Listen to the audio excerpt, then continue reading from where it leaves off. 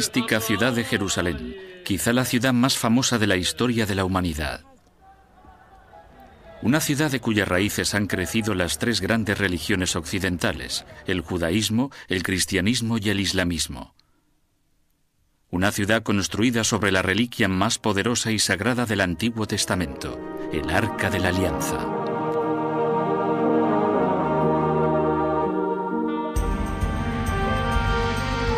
Arca Perdida.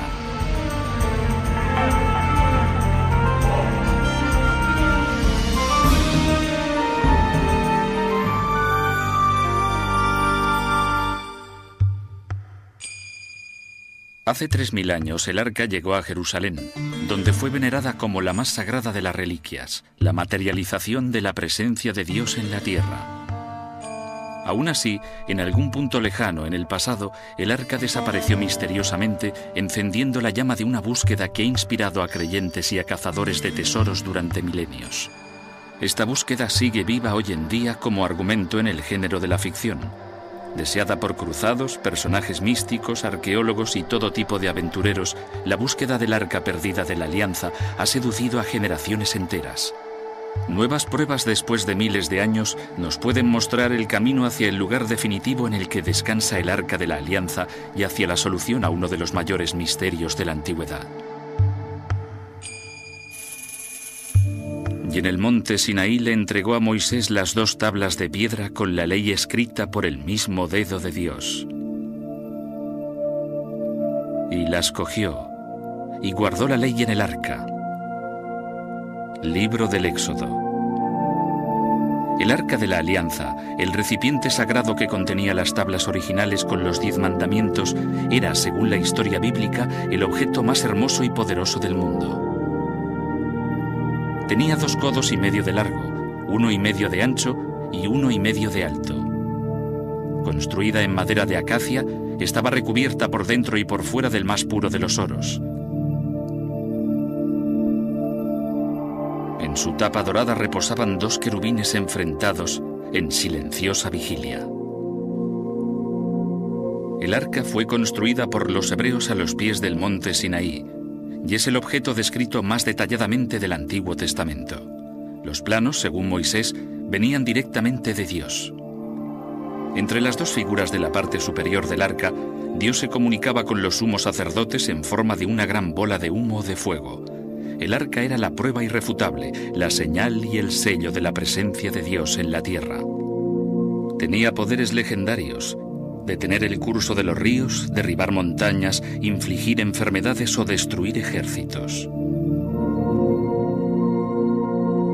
El Antiguo Testamento cuenta cómo durante la campaña de Josué para conquistar la ciudad de Jericó, el arca iba a la cabeza de su ejército. Durante seis días, un grupo selecto de sacerdotes marchó alrededor de la ciudad llevando el arca con ellos.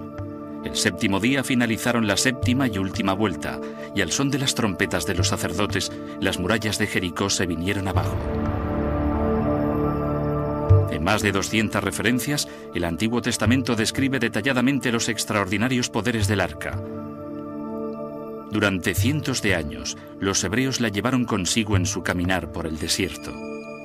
Cuando el rey David llegó al poder en el siglo XI a.C., llevó el arca a un lejano poblado en el monte Moriah. En su cima había una gran roca plana sobre la cual planeó construir un templo para el arca. Sin embargo, David murió antes de poder materializar su idea y la empresa recayó sobre su hijo, Salomón, que reinó de 970 a 931 a.C. aproximadamente. Durante el reinado de Salomón, Jerusalén se convirtió en el centro de la vida política y religiosa de Tierra Santa, en el corazón de la ciudad estaba el templo que este rey construyó para albergar el Arca de la Alianza. Esta permaneció en el templo hasta algún tiempo después del año 900 a.C. Entonces desapareció misteriosamente. Prácticamente no se vuelve a mencionar en la Biblia. ¿Cómo pudo desaparecer el objeto más importante del mundo occidental sin dejar rastro o ni siquiera referencias de haber desaparecido? ¿Y dónde se encuentra el arca de la alianza en la actualidad? Jerusalén tiene un carácter espiritual. Atrae a peregrinos de todo el mundo. en la época medieval se pensaba que era el centro del universo. Durante milenios ha sido literalmente el centro de todas las religiones occidentales. Una ciudad que fue fundada con un propósito, albergar el Arca de la Alianza. En la actualidad se está llevando a cabo un estudio sobre los restos del antiguo Jerusalén por parte de arqueólogos como Gideon Avni, miembro de la Autoridad de Antigüedades de Israel. El templo que el rey Salomón construyó hace unos 3.000 años se situaba justo detrás de mí. Estos escalones que veis aquí son más o menos los mismos que construyó el rey Salomón. Hoy en día sabemos incluso la posición exacta en la que el rey Salomón construyó el primer templo y que en algún lugar en el perímetro del monte del templo había un gran edificio en el que se guardaba el arca de la alianza. Según el libro de los reyes, la construcción del primer templo empezó alrededor de 966 a.C. Su arquitectura y diseño eran más grandiosos y elaborados que los de cualquier precedente. En el patio interior había un altar de sacrificios y una pila que pesaban cerca de 30 toneladas. La entrada estaba flanqueada por dos columnas de bronce de 12 metros de altura. Tras las doradas puertas de madera de olivo se encontraba la morada del arca. Lo más sagrado de entre lo sagrado, con las paredes y el techo revestidos y remachados de oro puro. El arca fue definitivamente trasladada a lo que sería su emplazamiento permanente en el Templo de Salomón alrededor del año 955 a.C. Hay que remarcar que no hemos extraído nada sobre el primer período del templo de los restos arqueológicos. Eh, Tenemos la Biblia y otras fuentes, eh, aunque la descripción del edificio está basada sobre todo en la Biblia. La parte más sagrada era la interior, a la que se refería como lo más sagrado de entre lo sagrado, y era donde reposaba el arca una vez construido el primer templo.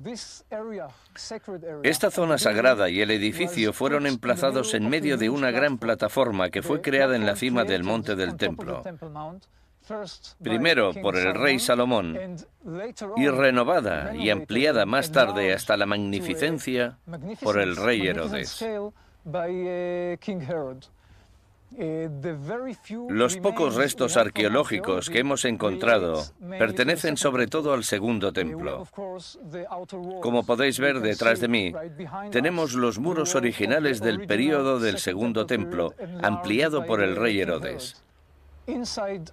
Dentro de los muros del monte del templo quedan restos de su pasado dorado, signos del arca, muy poca cosa, que puede que pertenezca al segundo período, pero por lo que sabemos, toda la zona habría sido renovada y reconstruida desde la roca en los períodos tempranos del islamismo, y hay pocas pistas que lo aclaren.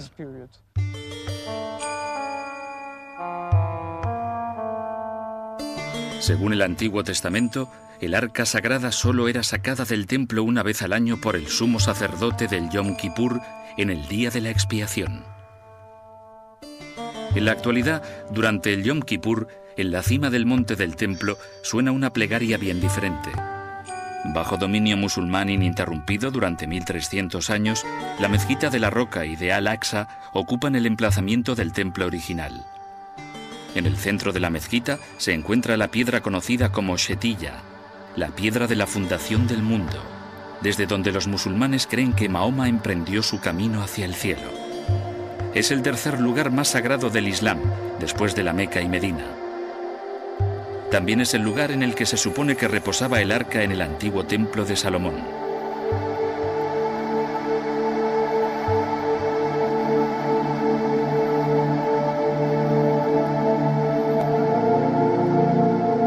Durante años, la única parte del monte a la que los judíos tenían acceso eran estas largas piedras que formaban parte del muro del oeste del segundo templo. A solo un paso de la mezquita de la roca, este constituye el lugar más sagrado del judaísmo. A pesar de sus diferencias, el judaísmo, el cristianismo y el islamismo tienen un elemento en común, todos adoran a un solo Dios. Y el concepto de ese Dios estaba materializado al principio en el Arca de la Alianza. Su poder domina los primeros libros del Antiguo Testamento, aunque tiempo atrás el arca se desvaneció inexplicablemente. Durante más de dos mil años de búsqueda se han tejido decenas de leyendas y teorías en torno a su desaparición. Mayoritariamente, se cree que el arca desapareció en un momento de crisis, bien capturada por trofeo por un ejército conquistador o bien escondida en algún paraje secreto por sacerdotes del templo. El primero de tales momentos fue a finales del siglo X a.C., durante una invasión del faraón egipcio Shishak. De hecho, es sobre la teoría de Shishak sobre la que se basa la película En busca del arca perdida. En ella se descubre el arca en la ciudad perdida de Tanis, la capital de Egipto durante el reinado de Shishak. Sin embargo, esta teoría no cuenta con el apoyo de los expertos, quienes afirman que el ejército de Shishak nunca llegó a entrar en Jerusalén. Los historiadores sostienen que se pagó un tributo al faraón para mantenerlo fuera de la ciudad y que ciertamente dicho tributo no incluiría el más preciado y sagrado de los tesoros del templo. Si el arca fue sustraída, la teoría con mayor fundamento es que fue desmontada cuando los babilonios conquistaron Jerusalén en el año 586 a.C. Según el Antiguo Testamento, el líder babilónico Nabucodonosor y su ejército destruyeron el templo sagrado de Salomón y enviaron a los israelitas al exilio. La suerte del arca podría yacer en las actuaciones de los antiguos conquistadores, tal y como explican arqueólogos como Aaron Meir, miembro de la Universidad Hebrea de Jerusalén y de la Autoridad de Antigüedades de Israel. Lo primero que hacían los conquistadores cuando capturaban una ciudad era saquear los templos. Lo hacían por dos razones. Primero, si tenían el control del templo y desacreditabas al dios de la ciudad, era una muestra muy clara de quién mandaba. Y segundo, los tesoros se guardaban en los templos, y si la descripción del arca que aparece en la Biblia tiene algo de verdad, se trataba realmente de un objeto extremadamente valioso. Si me preguntas qué pudo pasar, a no ser que algún sacerdote con mucha determinación consiguiera llevarse el arca y esconderla en otro lugar, seguramente los babilonios se hicieron con ella, se la llevaron a los palacios de Babilonia y o bien la guardaron allí como un trofeo, o bien la fundieron e hicieron otros objetos de oro con ella. Sin embargo, hay un hecho del que no cabe la menor duda. Existen registros detallados de todos los tesoros que fueron sustraídos del templo y llevados a Babilonia, pero el arca no se encuentra en ninguno de ellos. Cuando los hebreos volvieron a Jerusalén en el año 583 a.C., iniciaron la construcción de un segundo templo, aunque no se menciona que el arca fuera reubicada en este nuevo santuario. A partir de este momento, no se vuelve a hacer referencia al arca de la alianza en las escrituras del Antiguo Testamento. La creencia de que el arca fue rescatada y escondida en una cámara secreta se ha convertido en el pilar fundamental de una búsqueda que se ha prolongado durante siglos.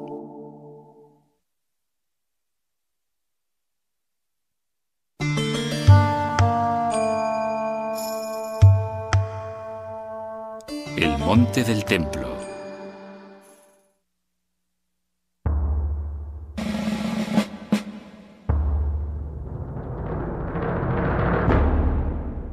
Hace casi mil años, las cruzadas cristianas recuperaron el control de Jerusalén de manos de los musulmanes que habían tenido el dominio de la ciudad desde el siglo VII. En el año 1119 de nuestra era, un grupo de nueve nobles franceses que se hacían llamar los Caballeros Pobres de Cristo y del Templo de Salomón llegaron a Jerusalén.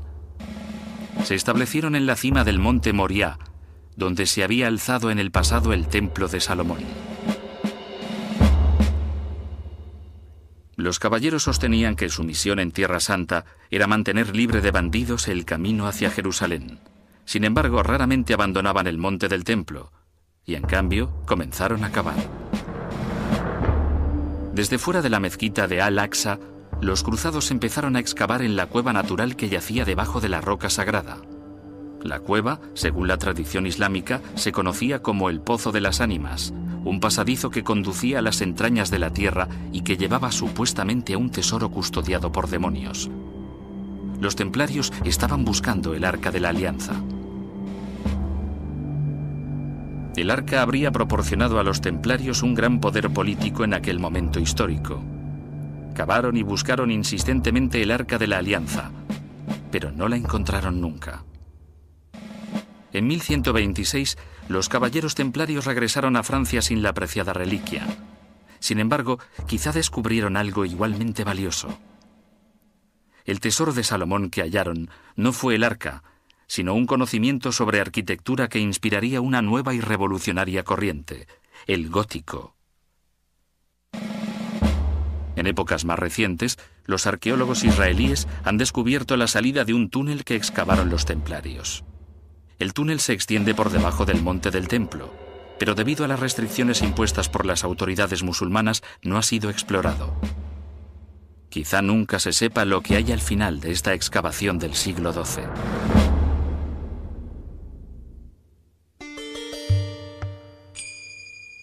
¿Acaso podría estar aún el arca escondida en algún lugar debajo del monte? Esta fue la idea que lanzó en 1909 un intrépido aventurero británico llamado Capitán Montague Parker. Durante sus propias excavaciones, el escritor y arqueólogo Neil Silverman localizó la pista de la expedición de Parker. Las expediciones de Parker de 1909 a 1911 fueron, sin lugar a dudas, las expediciones más alocadas y ridículas que nunca se han llevado a cabo en Tierra Santa.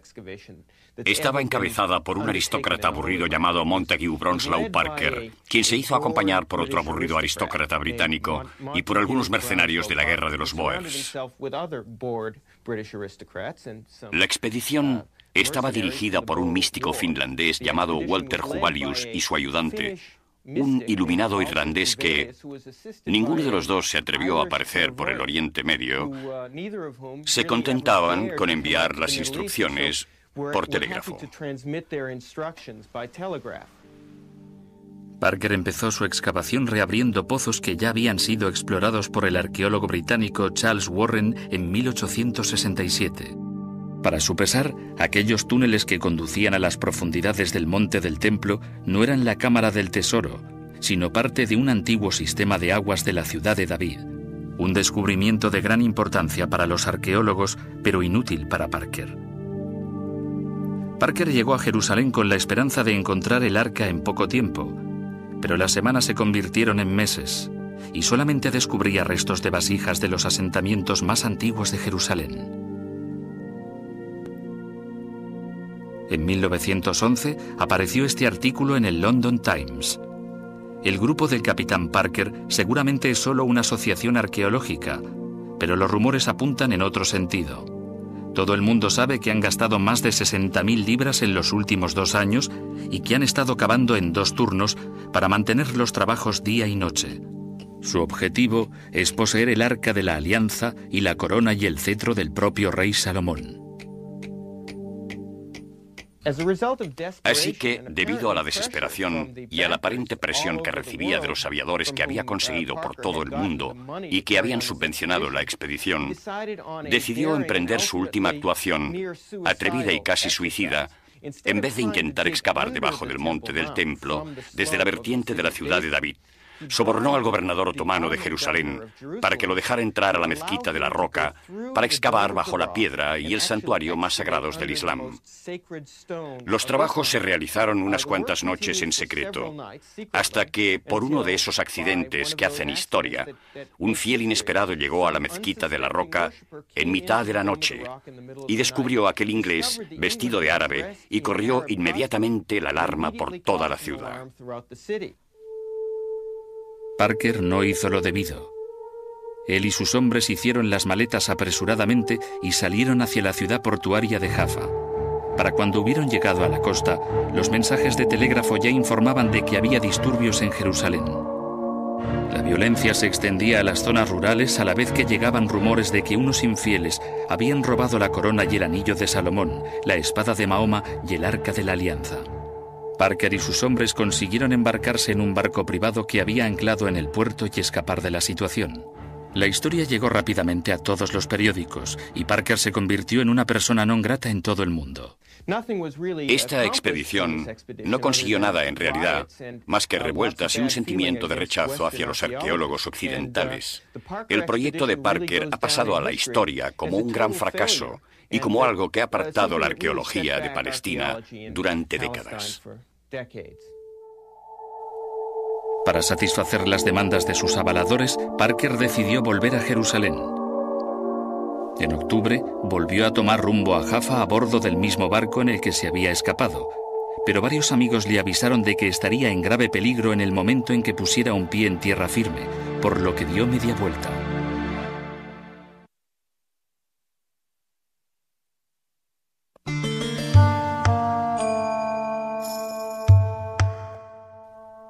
Viaje al sur.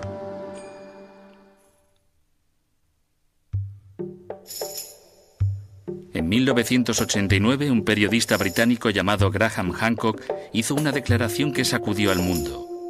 La legendaria Arca de la Alianza no estaba perdida, sino a salvo, escondida en una iglesia de Etiopía, a donde había sido trasladada en secreto hacía más de mil años. En todo el mundo, solo hay un país en el que encontremos viva la tradición de adorar el Arca de la Alianza. Y ese país, por muy extraño que sea, es Etiopía. Lejano, en el corazón de África, un país antiguo y misterioso. Un país que tiene una población judía. Judíos etíopes autóctonos de los que no se sabe su origen. Ningún estudioso ha sido capaz de explicar de manera satisfactoria ni siquiera cómo llegó el judaísmo a Etiopía ni cuáles son sus orígenes. Además, Etiopía es un país cristiano. Fue uno de los primeros países del mundo en convertirse al cristianismo, aproximadamente en el año 350 después de Cristo. Así que tenemos dos antiguos caminos paralelos, el judaísmo y el cristianismo, que discurren conjuntamente en el país. Ambas fes veneran el Arca de la Alianza y ambas creen firmemente que ésta descansa actualmente en una pequeña capilla anexa a la iglesia de Santa María de Sion, en Axum.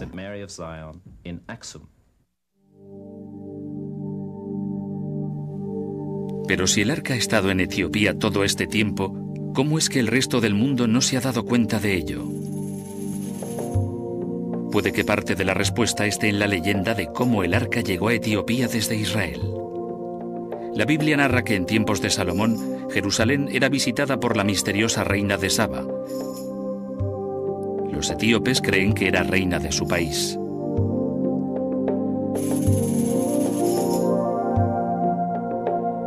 La leyenda del arca y su relación con Etiopía ha sido el objeto de estudio al que el experto y director del Instituto de Estudios Semíticos, el etíope doctor Efraim Isaac, ha dedicado toda su vida. Quizá las leyendas más elaboradas e interesantes que se han desarrollado alrededor de historias de la reina de Saba se encuentran en el libro La Gloria de los Reyes.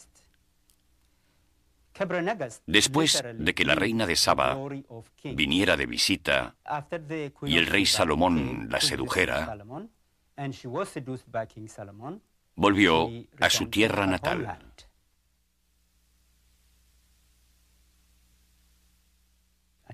Y se quedó embarazada. Tuvo un hijo al que llamó Menelik. La leyenda etíope cuenta cómo años más tarde, Menelik fue a visitar a su padre a Jerusalén para ser educado. A pesar de la insistencia de Salomón en que se quedara, Menelik volvió a Etiopía con el hijo primogénito del sumo sacerdote. La leyenda cuenta que se llevaron consigo el arca y que la guardaron en un templo que se convertiría más tarde en la iglesia de Santa María de Sion en Axum.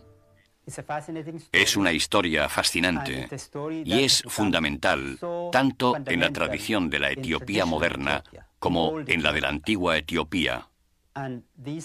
Y esos pensamientos, esas creencias, han influido en la actitud de Etiopía hacia el antiguo Israel, hacia la religión de Israel, según la propia leyenda, Junto con Menelik vino la creencia en un solo Dios. ¿Es eso cierto?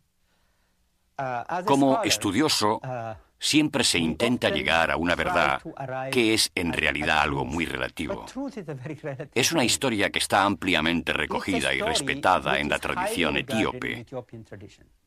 Yo no voy a decir si esta historia es verdadera o es falsa, porque yo lo que intento es comprender cuáles son las raíces de dicha historia.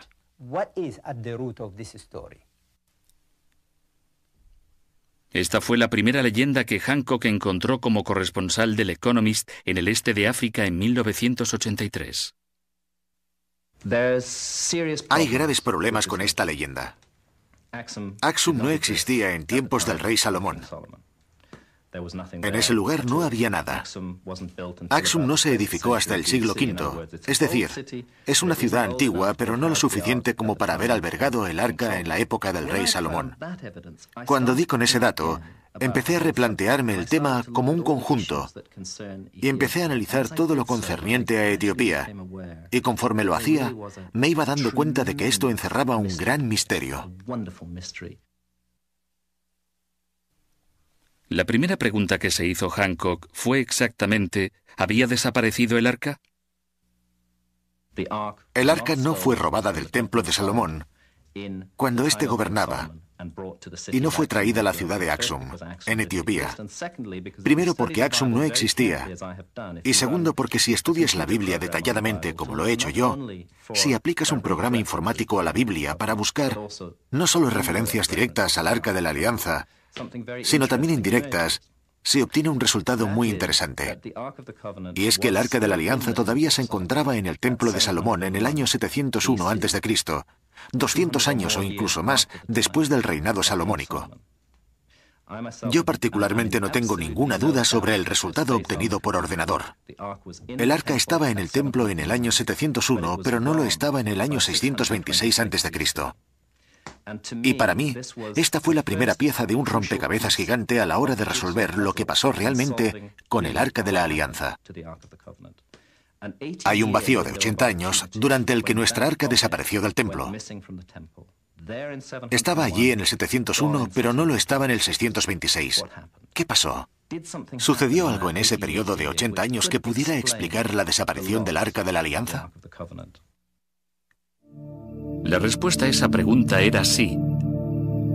Según la Biblia, algo muy importante sucedió en ese periodo de 80 años. Un rey llamado Manasés subió al trono de Jerusalén. Manasés hizo algo inconcebible que pudo ser la causa para sacar el arca de Jerusalén. Convertir el templo de Salomón al culto pagano instalando una figura pagana en lo más sagrado.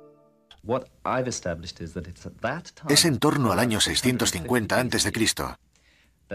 El arca de la alianza fue trasladada del templo por sacerdotes que eran fieles a la antigua fe judía y que no podían permitir que el arca se quedara en un edificio que también contenía un ídolo pagano. Se la llevaron. Y lo que yo he establecido es que se la llevaron fuera de la tierra de Israel para evitar el riesgo de que se contaminase con los pecados de Manasés. Pero, ¿a dónde se la llevaron? Los devotos sacerdotes pudieron haberse llevado el arca a la isla Elefantina, enfrente de la moderna ciudad de Asuán, en el río Nilo. En Elefantina emerge otro gran enigma arqueológico. Allí se construyó un templo judío alrededor del año 650 a.C., exactamente en la época que Hancock señala para el traslado del arca desde el templo de Salomón en Jerusalén.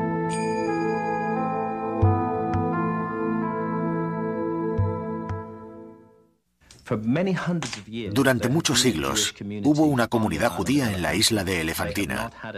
No tenían templo, ya que ninguna comunidad judía de fuera de Jerusalén tenía. Se suponía que el único templo era el de Salomón, y su función era albergar el arca de la alianza del Señor. Pero misteriosamente, al mismo tiempo que el arca desaparece del templo de Salomón de Jerusalén, se construye un templo judío en Egipto, en la isla de Elefantina, con la misma función, albergar el arca de la alianza.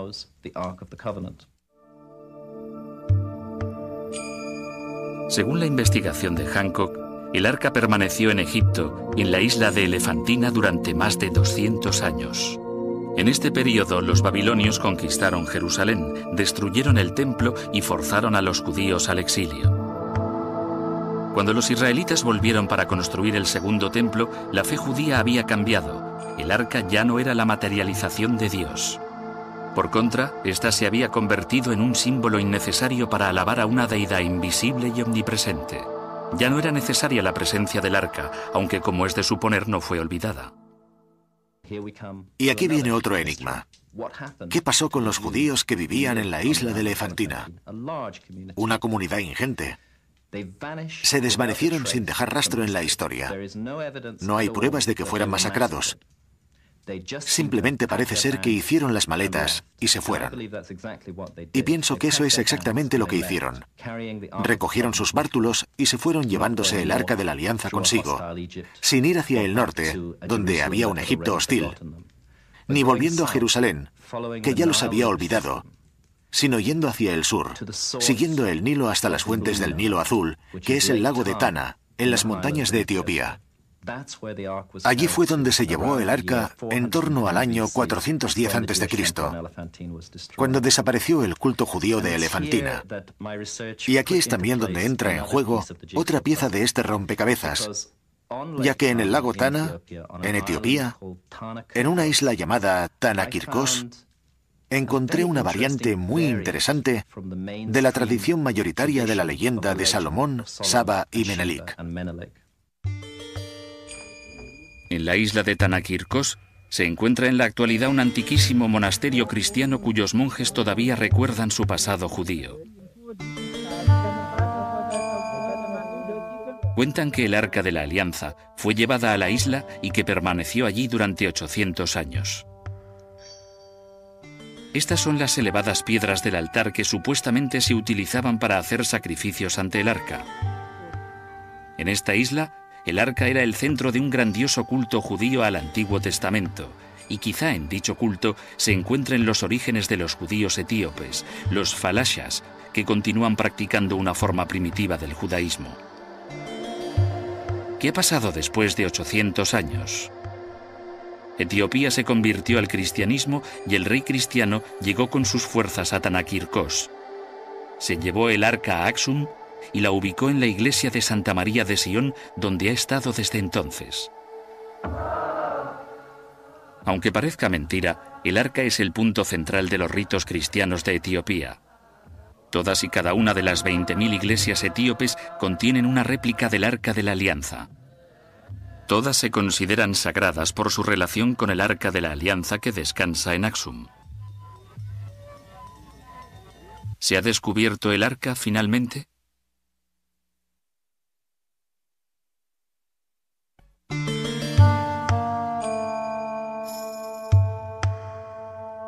El santuario.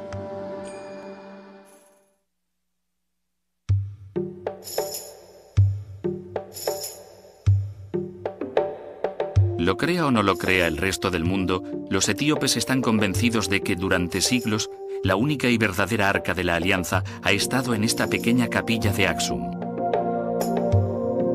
Está guardada bajo llave, fuera del acceso de toda persona, excepto de un hombre. Él es el guardián del Arca de la Alianza, un monje cristiano que pertenece a la Iglesia Ortodoxa etíope. Un hombre que es elegido por el anterior guardián por la absoluta pureza de su corazón. Una vez escogido, no puede abandonar el recinto de la iglesia durante el resto de su vida. El guardián actual es Abba Tesfamarium. Todos los etíopes creen que solo un hombre puro y completamente limpio de pecado puede acercarse al arca. Porque si no es puro y completamente limpio de pecado, el arca lo mataría. Y a mí me han contado casos en los que el arca ha matado a gente por no ser apropiada para acercarse a ella. Lo que hay que entender es que el arca es el centro de la fe religiosa de este país. Sobre ella hay formada un áurea de poder y de peligro. El poder de Dios. No es algo sobre lo que bromear o reírse. No es ninguna atracción turística. Los etíopes creen que el arca, como narra el Antiguo Testamento, es Dios, el trono de la presencia de Dios. Y por eso solo un hombre se le puede acercar. Ningún fotógrafo ha sido conducido nunca junto al arca ni parece posible que suceda. Pero la descripción parece coincidir con la que se cita en la Biblia. Describe el arca. Está deseando describirla como un recipiente dorado situado sobre dos fustes de carga. Describe sus dimensiones con gestos. Sobre todo, dice que es un objeto antiguo que le causa puro terror. Cuenta que la primera vez que estuvo ante el Arca de la Alianza, en la capilla del santuario, se puso a temblar de miedo. Y le pregunté, ¿por qué? ¿Por qué temblabas de miedo? Dijo que porque el arca era de fuego. Este hombre está explicando una vivencia real para él. La verdad de sus palabras se encuentra en la manera en que habla.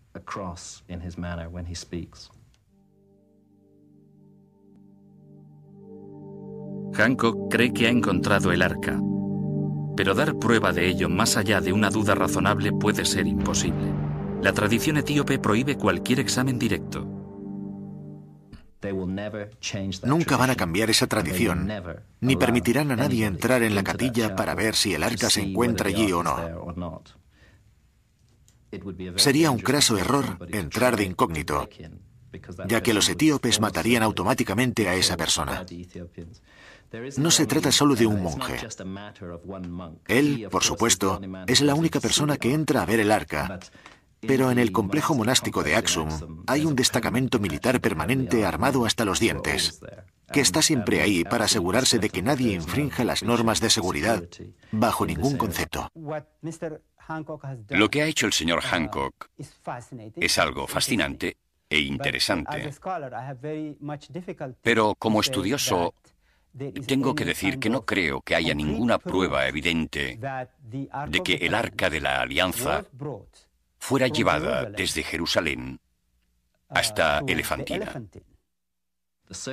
La evidencia circunstancial sugiere claramente que el arca se encuentra en Etiopía. Yo, después de todo, no veo el virus que me causa un resfriado para saber que estoy resfriado. Los síntomas son suficientes para decirme qué es lo que me pasa. Los síntomas aquí, un país entero que venera el Arca de la Alianza, un proceso histórico muy clarificador que lleva el Arca a Etiopía, han demostrado muchas cosas, demasiadas para ser ignoradas. Han mostrado de manera firme que el Arca de la Alianza se encuentre probablemente en Etiopía. Quizá algún día las afirmaciones de Hancock puedan ser probadas. Hasta ese momento, la prueba circunstancial es todo de lo que se dispone para ubicar el arca en Axum. Para Hancock ya es suficiente. Yo creo que lo importante es comprender las creencias, tanto desde la perspectiva de los antiguos judíos, por lo que ocurrió con el arca, como desde las creencias en Etiopía, sobre dónde está, para respetarlas. No creo que haya ningún estudioso que me pueda convencer sobre su paradero. Y no hay ningún estudioso que me pueda convencer de que no está en Etiopía tampoco. Um, uh, Solo tenemos que disfrutar de esta fascinante uh, tradición, respetarla y dejarla como está. A través de los siglos, la importancia del hecho religioso y la curiosidad por los tesoros han inspirado a generaciones para continuar con su búsqueda. A veces pienso que la intensidad con la que se buscan antiguos objetos bíblicos y yacimientos arqueológicos es en realidad una muestra de la debilidad de la fe, más que del poder de la fe. Cuando la gente cree de corazón en un determinado hecho bíblico o en lugares bíblicos, no existe la necesidad de encontrar el objeto en sí para comprobar que es como lo describe la Biblia. Por lo menos, eso es lo que ocurre con el Arca de la Alianza. que es más bien un objeto simbólico y literario que representa el poder del Dios israelita, que no un lugar donde tenga que ir nadie para ver que ese recipiente, con unas dimensiones específicas, existe. Y de ahí en adelante, creer firmemente en el arca de la que habla la Biblia. Puede que nunca se encuentre una prueba. Seguirá habiendo gente que piense que el arca está enterrada bajo el monte del templo, a pesar de que las posibilidades de encontrarla parezcan pequeñas. Tal y como están las cosas a día de hoy, nadie va a excavar en el perímetro del monte del templo. Si hay alguna cavidad escondida que no fue encontrada por los exploradores previos y de la que no se tiene constancia en la actualidad, Quizá algún día alguien que haga por accidente una zanja en lo alto del monte o alguien que tenga que hacer una excavación encuentre alguna cosa. Pero hay muy pocas posibilidades, creo yo. Aunque vivimos en una ciudad llena de sorpresas. Y quizá algún día en el interior del monte del templo o en algún otro lugar de Jerusalén hagamos un nuevo hallazgo, encontremos una nueva pista, algo que nos proporcione algún tipo de información o conclusión sobre el arca. ¿Por qué sigue la gente buscando el arca? Porque es un objeto tan mágico y tan fantástico que para nuestra época moderna, con lo aprendido a través de películas y fantasiosas descripciones, uno puede hacerse una idea de lo que podría ser si todavía existiera. Por supuesto, no hay manera de probarlo. Y hasta que no puedas probar parte del proceso o la existencia real del arca, en realidad puedes decir lo que quieras, que está en Etiopía o que está en un almacén del ejército de los Estados Unidos. De todas maneras, en gran parte pertenece todo al mundo de la pseudoconciencia fantástica.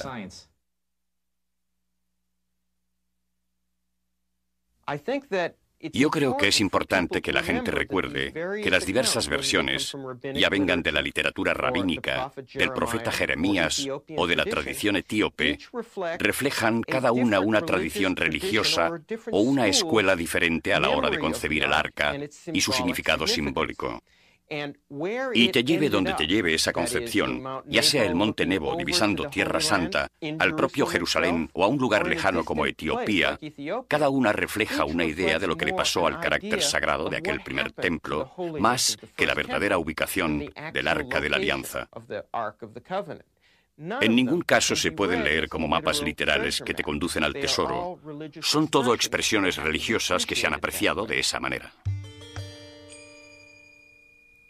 De entre los antiguos enigmas del mundo, el misterio del Arca de la Alianza es uno de los pocos que ha sobrevivido y que tiene una versión contemporánea. En el punto de mira de las grandes cuestiones sobre la religión y la fe, el arca todavía ejerce su influencia sobre los que piensan que se encuentra en Etiopía y sobre los que creen que está, en estos momentos y quizá para siempre, perdida en alguno de los lugares secretos de Tierra Santa. Como garantía específica de que Dios existe, su valor como tesoro va más allá del simple oro con el que fue construida. Si el arca fuera encontrada hoy mismo, nadie sabe cuáles serían las repercusiones. Muchos opinan que sería mejor si la suerte del arca continuara siendo un misterio.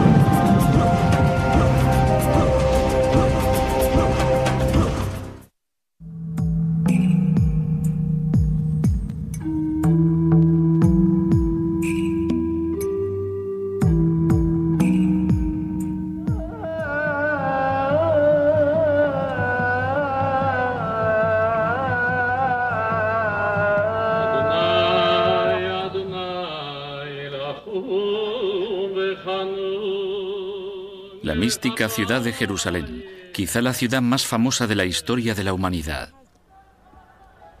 Una ciudad de cuyas raíces han crecido las tres grandes religiones occidentales, el judaísmo, el cristianismo y el islamismo. Una ciudad construida sobre la reliquia más poderosa y sagrada del Antiguo Testamento, el Arca de la Alianza.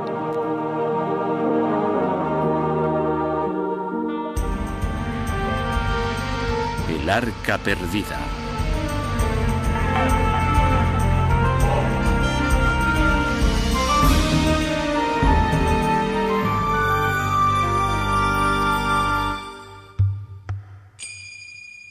Hace tres mil años el arca llegó a Jerusalén, donde fue venerada como la más sagrada de las reliquias, la materialización de la presencia de Dios en la tierra. Aún así, en algún punto lejano en el pasado, el arca desapareció misteriosamente, encendiendo la llama de una búsqueda que ha inspirado a creyentes y a cazadores de tesoros durante milenios. Esta búsqueda sigue viva hoy en día como argumento en el género de la ficción Deseada por cruzados, personajes místicos, arqueólogos y todo tipo de aventureros, la búsqueda del arca perdida de la Alianza ha seducido a generaciones enteras. Nuevas pruebas después de miles de años nos pueden mostrar el camino hacia el lugar definitivo en el que descansa el arca de la Alianza y hacia la solución a uno de los mayores misterios de la antigüedad. Y en el monte Sinaí le entregó a Moisés las dos tablas de piedra con la ley escrita por el mismo dedo de Dios. Y las cogió y guardó la ley en el arca. Libro del Éxodo. El arca de la alianza, el recipiente sagrado que contenía las tablas originales con los diez mandamientos, era, según la historia bíblica, el objeto más hermoso y poderoso del mundo. Tenía dos codos y medio de largo, uno y medio de ancho y uno y medio de alto. Construida en madera de acacia, estaba recubierta por dentro y por fuera del más puro de los oros. En su tapa dorada reposaban dos querubines enfrentados en silenciosa vigilia.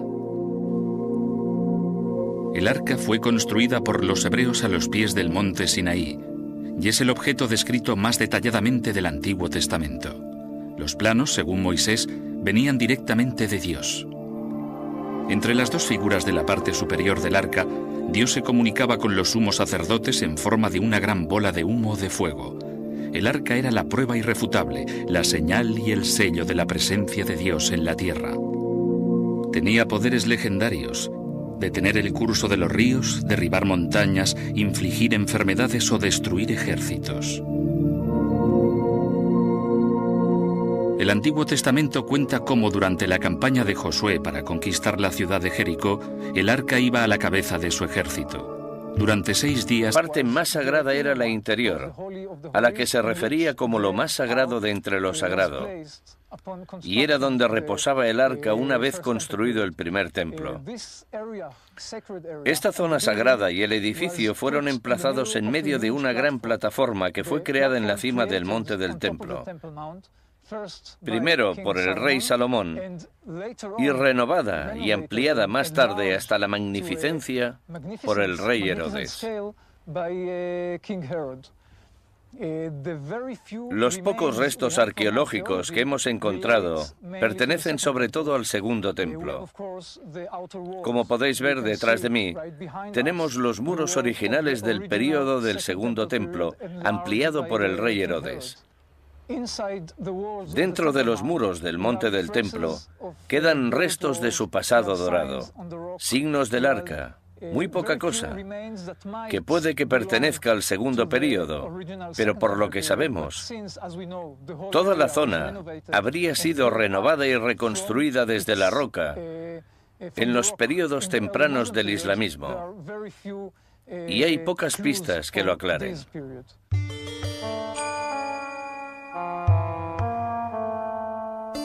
Según el Antiguo Testamento, el arca sagrada solo era sacada del templo una vez al año por el sumo sacerdote del Yom Kippur en el día de la expiación. En la actualidad, durante el Yom Kippur, en la cima del monte del templo suena una plegaria bien diferente. Bajo dominio musulmán ininterrumpido durante 1300 años, la mezquita de la Roca y de Al-Aqsa ocupan el emplazamiento del templo original. En el centro de la mezquita se encuentra la piedra conocida como Shetilla, la piedra de la fundación del mundo, desde donde los musulmanes creen que Mahoma emprendió su camino hacia el cielo. Es el tercer lugar más sagrado del Islam, después de la Meca y Medina. También es el lugar en el que se supone que reposaba el arca en el antiguo templo de Salomón.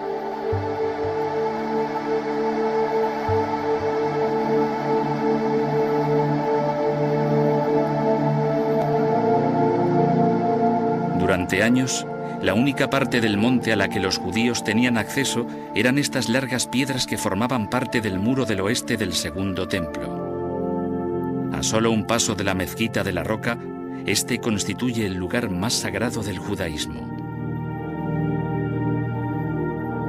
A pesar de sus diferencias, el judaísmo, el cristianismo y el islamismo tienen un elemento en común, todos adoran a un solo Dios. Y el concepto de ese Dios estaba materializado al principio en el Arca de la Alianza.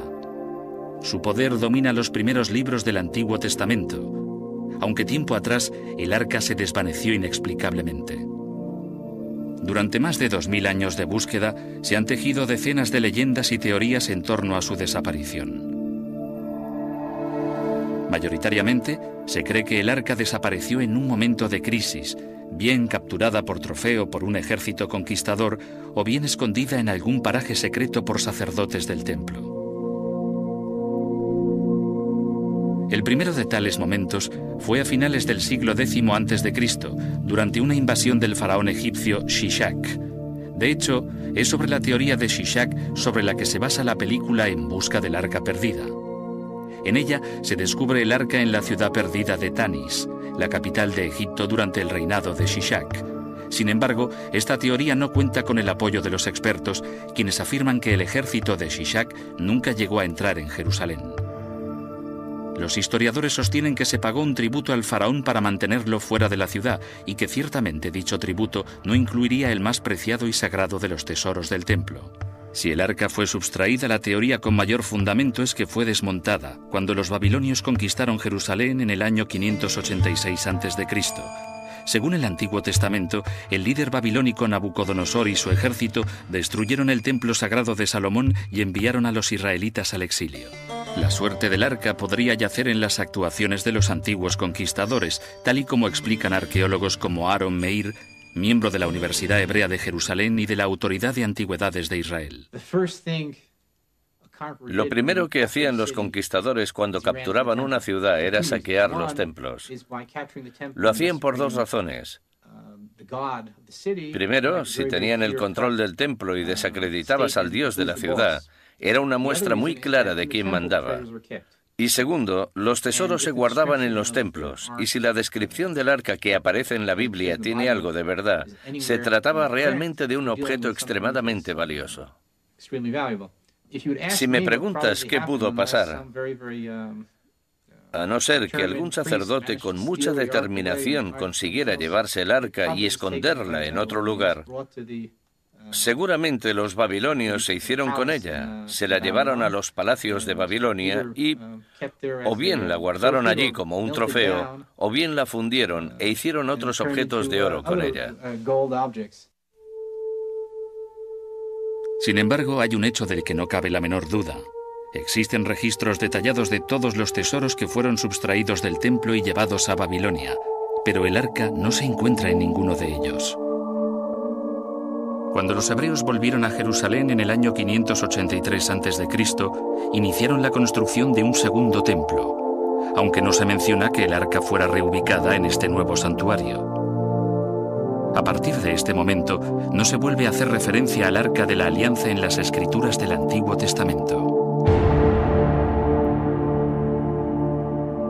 La creencia de que el arca fue rescatada y escondida en una cámara secreta se ha convertido en el pilar fundamental de una búsqueda que se ha prolongado durante siglos.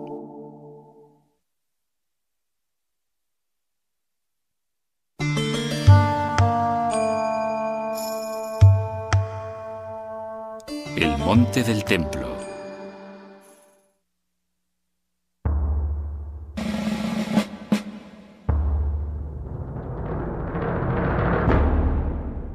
Hace casi mil años, las cruzadas cristianas recuperaron el control de Jerusalén de manos de los musulmanes que habían tenido el dominio de la ciudad desde el siglo VII. En el año 1119 de nuestra era, un grupo de nueve nobles franceses que se hacían llamar los Caballeros Pobres de Cristo y del Templo de Salomón llegaron a Jerusalén. Se establecieron en la cima del monte Moriah, donde se había alzado en el pasado el Templo de Salomón. Los caballeros sostenían que su misión en Tierra Santa era mantener libre de bandidos el camino hacia Jerusalén. Sin embargo, raramente abandonaban el monte del templo, y en cambio comenzaron a cavar. Desde fuera de la mezquita de Al-Aqsa, los cruzados empezaron a excavar en la cueva natural que yacía debajo de la roca sagrada. La cueva, según la tradición islámica, se conocía como el Pozo de las Ánimas, un pasadizo que conducía a las entrañas de la tierra y que llevaba supuestamente a un tesoro custodiado por demonios. Los templarios estaban buscando el arca de la alianza. El arca habría proporcionado a los templarios un gran poder político en aquel momento histórico. Cavaron y buscaron insistentemente el arca de la alianza, pero no la encontraron nunca. En 1126, los caballeros templarios regresaron a Francia sin la apreciada reliquia. Sin embargo, quizá descubrieron algo igualmente valioso. El tesoro de Salomón que hallaron no fue el arca, sino un conocimiento sobre arquitectura que inspiraría una nueva y revolucionaria corriente, el gótico. En épocas más recientes, los arqueólogos israelíes han descubierto la salida de un túnel que excavaron los templarios. El túnel se extiende por debajo del monte del templo, pero debido a las restricciones impuestas por las autoridades musulmanas no ha sido explorado. Quizá nunca se sepa lo que hay al final de esta excavación del siglo XII.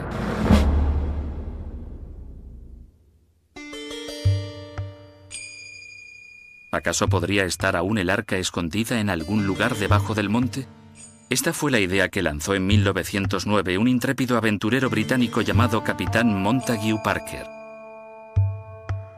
Durante sus propias excavaciones, el escritor y arqueólogo Neil Silverman localizó la pista de la expedición de Parker.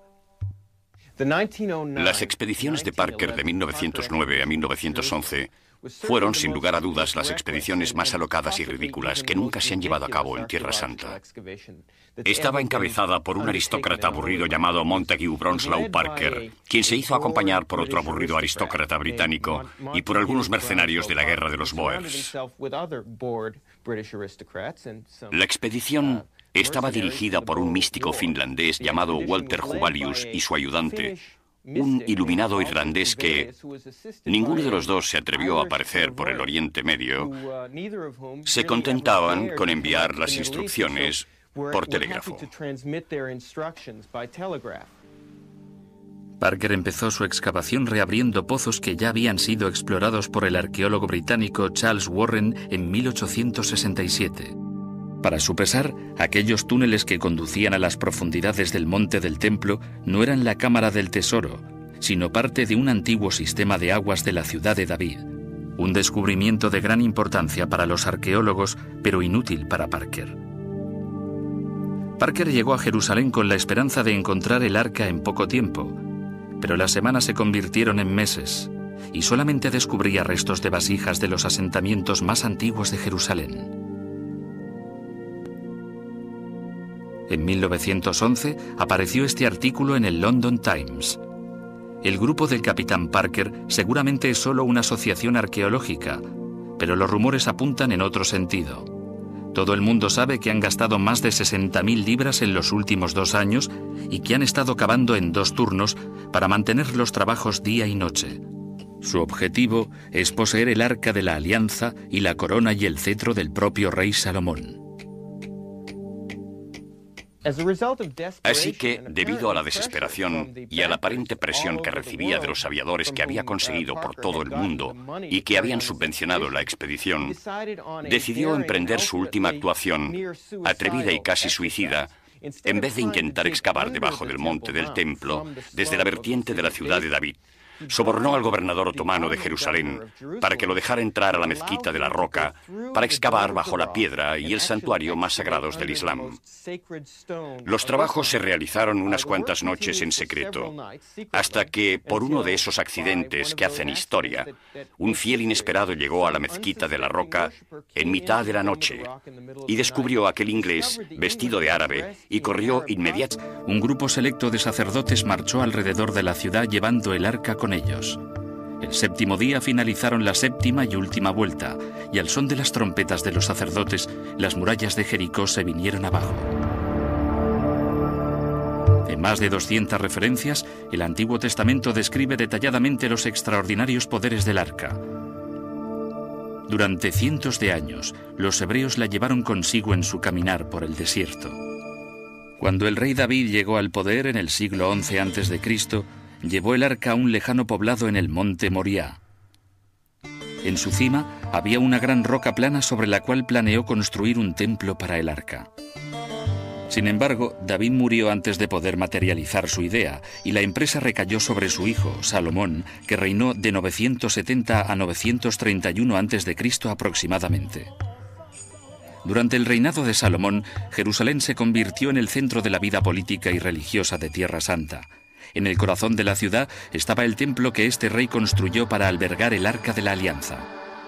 Esta permaneció en el templo hasta algún tiempo después del año 900 a.C. Entonces desapareció misteriosamente. Prácticamente no se vuelve a mencionar en la Biblia. ¿Cómo pudo desaparecer el objeto más importante del mundo occidental sin dejar rastro o ni siquiera referencias de haber desaparecido? ¿Y dónde se encuentra el arca de la alianza en la actualidad? Jerusalén tiene un carácter espiritual. Atrae a peregrinos de todo el mundo. En la época medieval se pensaba que era el centro del universo. Durante milenios, ha sido literalmente el centro de todas las religiones occidentales. Una ciudad que fue fundada con un propósito, albergar el Arca de la Alianza. En la actualidad se está llevando a cabo un estudio sobre los restos del antiguo Jerusalén por parte de arqueólogos como Gideon Avni, miembro de la Autoridad de Antigüedades de Israel. El templo que el rey Salomón construyó hace unos 3.000 años se situaba justo detrás de mí. Estos escalones que veis aquí son más o menos los mismos que construyó el rey Salomón. Hoy en día sabemos incluso la posición exacta en la que el rey Salomón construyó el primer templo y que en algún lugar en el perímetro del monte del templo había un gran edificio en el que se guardaba el arca de la alianza. Según el libro de los reyes, la construcción del primer templo empezó alrededor de 966 a.C. Su arquitectura y diseño eran más grandiosos y elaborados que los de cualquier precedente. En el patio interior había un altar de sacrificios y una pila que pesaban cerca de 30 toneladas. La entrada estaba flanqueada por dos columnas de bronce de 12 metros de altura. Tras las doradas puertas de madera de olivo se encontraba la morada del arca. Lo más sagrado de entre lo sagrado, con las paredes y el techo revestidos y remachados de oro puro. El arca fue definitivamente trasladada a lo que sería su emplazamiento permanente en el templo de Salomón alrededor del año 955 a.C. Hay que remarcar que no hemos extraído nada sobre el primer período del templo de los restos arqueológicos. Tenemos la Biblia y otras fuentes, aunque la descripción del edificio está basada sobre todo en la Biblia. La